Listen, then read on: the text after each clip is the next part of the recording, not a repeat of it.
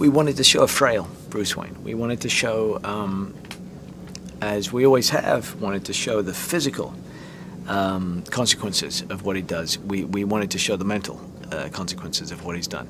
And at the end of The Dark Knight, he made a choice, which was against all of his ethics, but which in the short term seemed to be the right choice to make, and probably was in the short term.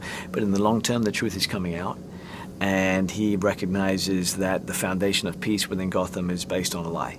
And he feels incredible remorse. He's become more of a recluse than we've ever seen him before. Um, he's, he's racked with guilt, and um, uh, Batman has disappeared completely.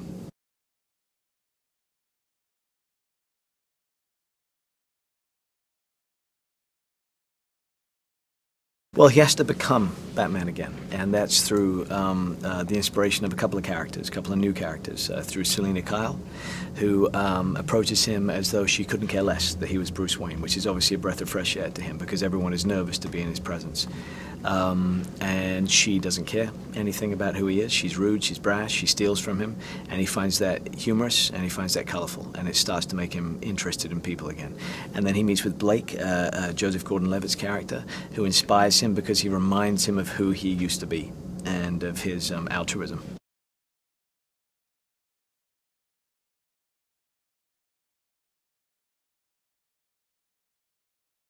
Tom's a phenomenal actor. Um, he used the uh, obstacle of his mask uh, to be a positive. Um, he's incredible in being able to convey um, all that he needs to uh, uh just with his eyes, um, despite uh, the mask covering most of his face. He was the first uh, adversary that Batman has come across who is physically dominant um, over Batman, and especially since we're meeting Batman at a physically frail uh, state, and he has to try to recover himself, and he has to try to recover his strength, both both mentally and physically as well.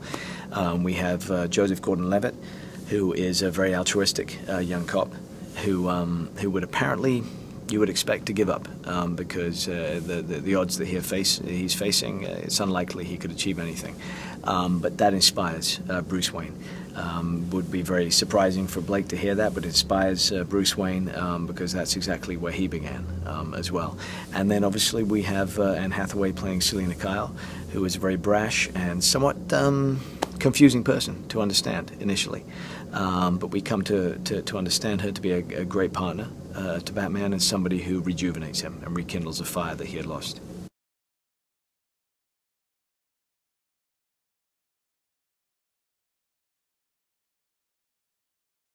I've learned working with him that it's possible to make uh, these uh, large scope movies but retain a sense of character uh, uh, there, that you don't have to lose that because that so often happens in these large movies. It just becomes about the action. Um, every fight sequence must not be just a fight sequence for the sake of it. It has to tell you something about the character, otherwise forget it. You should just cut that whole thing out. And um, having Tom as an adversary was uh, very good um, for that because he's such a good actor that he was able to bring that um, uh, to the table as well. Um, and, and also a respect respect for, for these kinds of movies. You know, uh, Chris uh, has incredible integrity, um, and consequently, you know, uh, when he tells me this this should be the final one, I, I, I listen to him and say, okay, this is goodbye.